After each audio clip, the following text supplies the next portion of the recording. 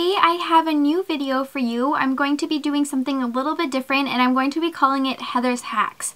So essentially what that means is whenever I find a beauty tip or even a lifestyle tip that I've either come up with or something that I realize I've used for in my entire life that maybe not everybody knows about, I'm going to be doing a short and small video on it.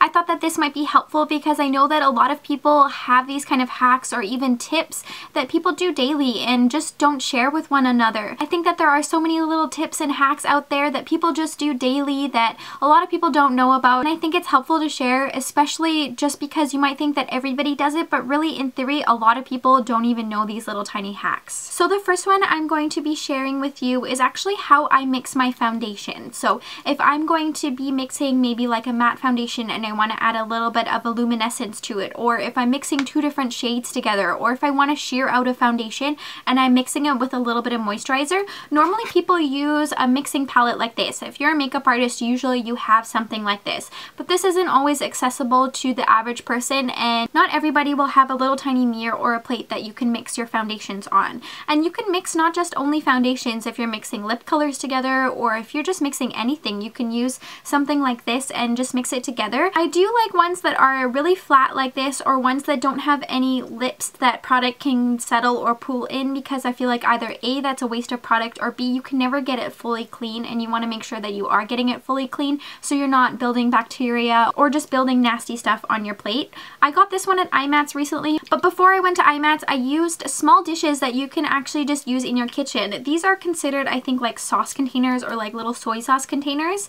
I got these at Daiso. I like them because they are ceramic, but they're glazed so the product won't seep into the ceramic. And also because although that they do have these little lips, the products, if they're runny, they're not going to fly out of the containers, as well as the lips can be fully cleaned. They're not ones that are rounded or a little bit too hard to get into.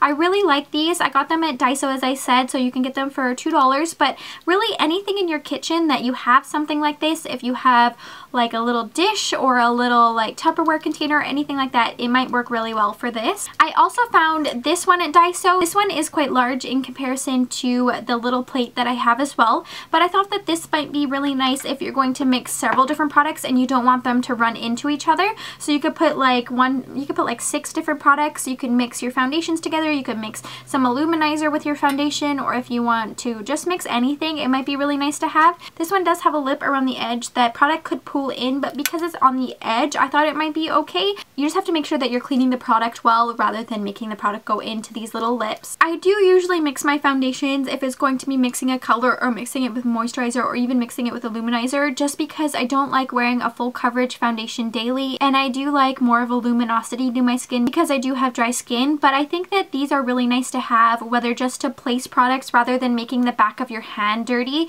you can put the product in here and I always feel like when I put foundation on the back of my hand it can seep into my hand and I feel like I'm wasting product. I don't know if that's really the case but it's like all in my head and that's what I thought. So if you have little small containers make use of them. You don't need one of these plates that a lot of makeup artists use. You can save your money and use something that you already have. I hope you all enjoy this new feature on my channel on what I'm calling Heather Hacks. If you have any hack recommendations, definitely let me know in the comments below. And make sure you subscribe so you can see all my upcoming tip and hack videos. Thanks so much for watching. Stay tuned.